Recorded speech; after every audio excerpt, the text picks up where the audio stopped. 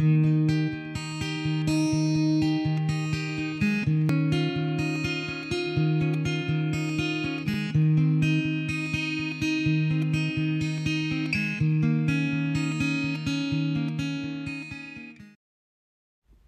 everyone, today I am going to show you how I made our DIY Christmas stocking wreath.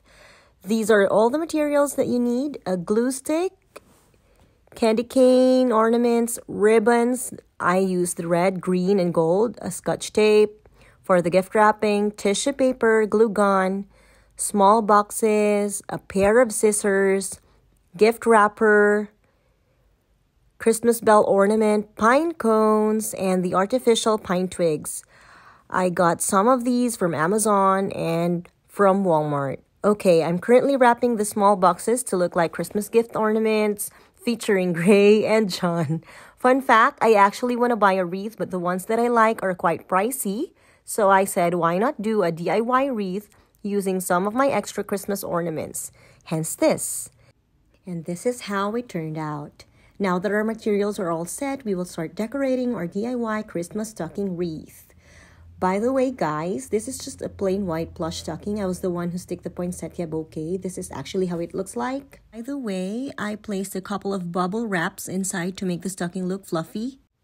It's not actually a bubble wrap, but it's those puffy plastics that they put in our packages. Familiar? If you guys know what it's called, please comment down below. Okay, now I'm starting with the pine cones. I put glue stick on the bottom part of the pine cone and stick one cone on each side below the bouquet.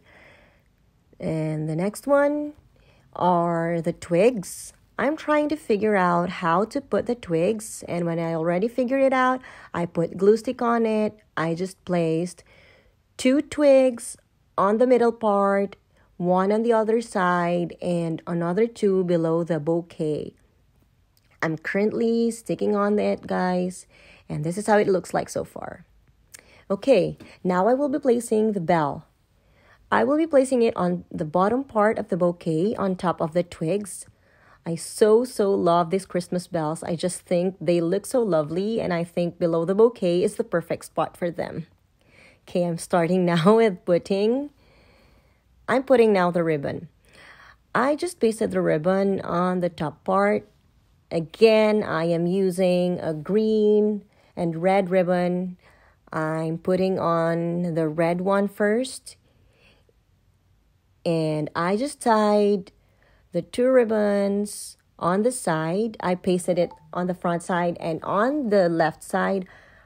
I tied the ribbons to look like a bow you don't actually to like really uh put it so well that it would look really fancy just as long as it works and it just looks good okay so now again I am with the green one. I am tying the green ribbon. And I'm cutting the edges for it to look for it to really look like a bow. And for it to you know just to look a little bit extra i also added this gold curling ribbon just to add a little art on the tied ribbons on the side and the outside part of the stocking is almost done and i'm so excited to decorate the inside part and there you go. The outside part decoration of the stocking is done. Now let's start with the inside part. I'm starting with the gifts. I still used glue sticks so that the materials that will be placed inside will not fall off because it tends to be windy here in Alabama during winter and I'm afraid it might fall off. I was having a bit of a hard time sticking these because the weight of the decoration outside the stocking make it hard for me. So guys, suggestion, if you're going to make this type of wreath, I think it would be better if you will start decorating the inside portion first and the outside last. The way it will be easier and less hassle. And now I'm sticking the candy cones, I mean candy canes, and we will be done. That's the last touch, I believe. The candy canes. And so, this is so exciting. Okay, there you have it. Our DIY Christmas stocking wreath is done, and this is how it looks like on our front door.